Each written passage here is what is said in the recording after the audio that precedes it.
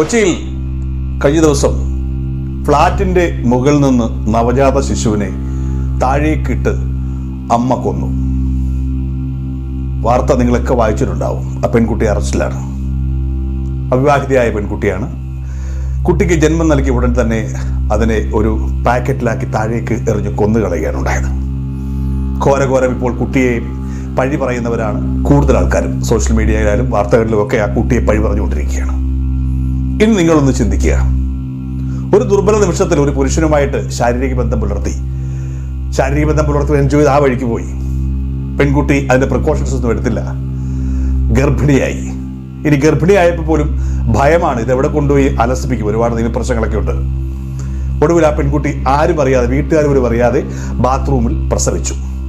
പ്രസവിച്ച ഉടൻ തന്നെ അതിന്റെ ബോധതലത്തിൽ കൊടുത്തിരിക്കുന്നത് അവിവാഹിതയായ പെൺകുട്ടി പ്രസവിച്ചു കഴിഞ്ഞാൽ പ്രത്യേകിച്ച് കല്യാണം കഴിക്കാത്തവർ പ്രസവിച്ചു കഴിഞ്ഞാൽ വലിയ പ്രശ്നമുള്ള നാട്ടിൽ തന്റെ ജീവിതം പോകുമെന്ന് ഉറപ്പിച്ചപ്പോൾ മറ്റൊന്നും ചിന്തിച്ചില്ല. ആ കുട്ടിയുമായിട്ട് യാതൊരു വൈകാരിക ബന്ധവുമില്ലാത്ത ആ അമ്മ ആ കുഞ്ഞിനെ എടുത്ത് താഴേക്ക് എറിയുകയാണ് ഉണ്ടായത്. ലക്ഷ്യമൊന്നാണ് മറ്റാരും അറിയരുത് താൻ പ്രസവിച്ചു എന്നുള്ള കാര്യം.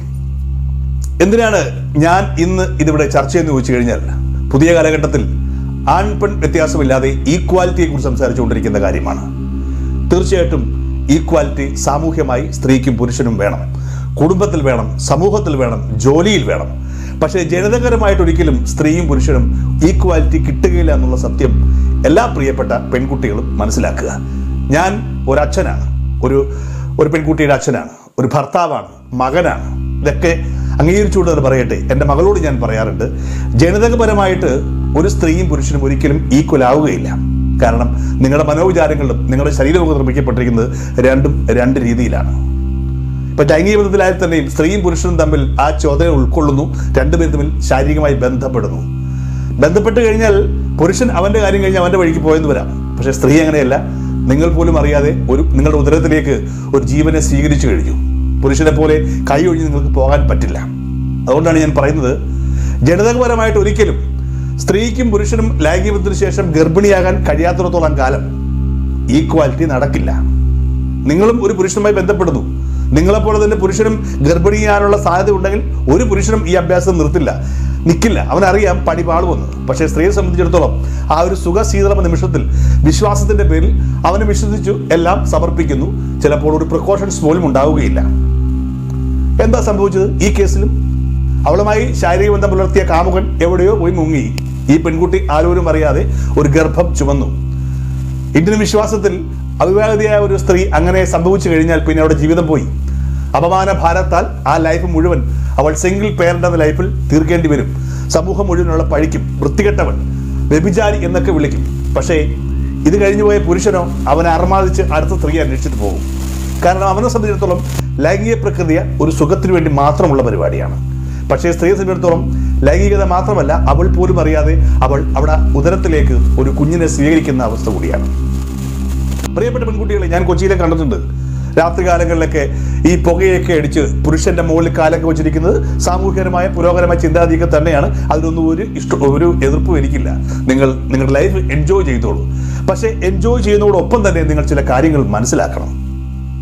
നിങ്ങൾക്ക് ഇത്തരത്തിലുള്ള ഒരു അവസ്ഥ ഉണ്ടായിക്കഴിഞ്ഞാൽ ഈ പറയുന്ന ഒരു സാമൂഹിക ചിന്താഗതിക്കാരും പുരോഗമനക്കാരും നിങ്ങളോട് ഉണ്ടാവുകയില്ല.